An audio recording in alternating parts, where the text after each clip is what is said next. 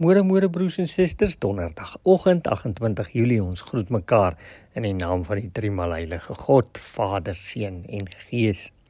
Gisteraand kyk ek na 'n uh, komedie op die televisie, is nogal oulik.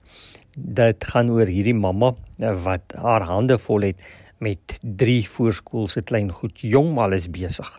En hulle skree en hulle terg mekaar. Hulle kan mekaar nie uitlos nie en daaraan kan die ma dit nie meer hanteer nie. En sy besef ogenigtig as sy nie nou uit hierdie kombuis uit wegloop nie, gaan sy iets sê of doen wat sy gaan berou. En sy draai om en sy hardloop sommer so met die trappies van die huis op. En in die eerste kamer wat sy kry, gaan sy in en sy maak sommer die kasse deur oop, klim in die kas, maak die kasse deur agter haar toe en sy gee 'n harde gil net om van al daai frustrasie ontslae te raak.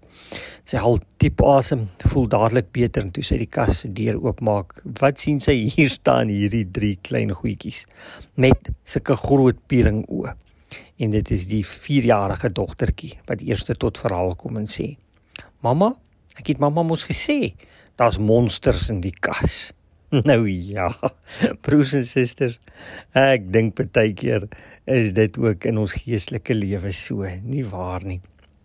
Ons kan baie keer die vinger wys na die monsters in hierdie wêreld en vir die Here vra dat hy ons sal seën en bewaar en behoed teen al die dinge in die lewe wat vir ons monsters is en wat vir ons gevaar inhou. Maar eintlik is ons dikwels die monsters. Uh anders gesê, natuurlik het die Here ons lief. Net soos daai mamma haar drie klein goed liefhet.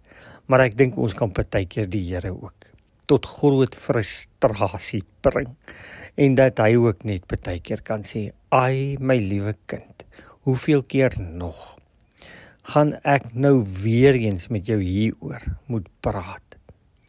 En dan dink ek sit ek vanoggend hier en ek sê, "Ja, Here, baie keer is ek sekerlik ook. Daardie monstertjie net soos die drietjies.